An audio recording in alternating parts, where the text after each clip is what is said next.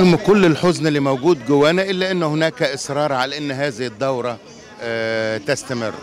وإنه مجرد إن المهرجان يستمر ده نجاح كبير قوي. وإن عدد الوفود المشاركة وعدد الدول المشاركة في المهرجان شيء إيجابي جدا. ينم على ان ان إن مصر في طريقها اللي مصر عليه بيزيد الالتفاف آه، حولها وإن بالتأكيد ده بيدي ملمح معين.